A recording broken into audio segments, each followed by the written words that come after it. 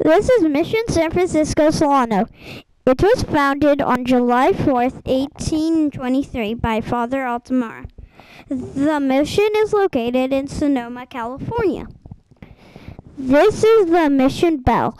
It was used to let the neophytes know when it was time to eat, work, and worship.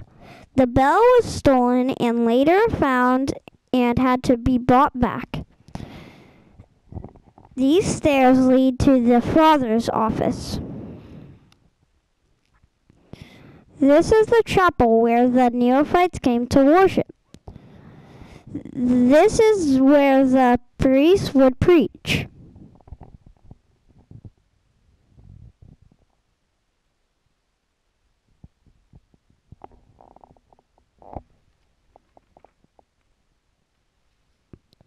The original mission had 27 rooms. The mission now has three rooms. The rooms were used for priest quarters. It is now set up w- with a table. This area was used for storing food and goods.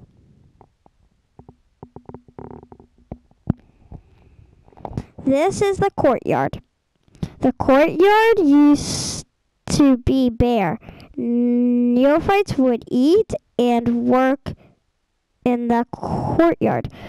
They would also work outside of the mission, raising cattle, oxen, and ga- growing beans and wheat.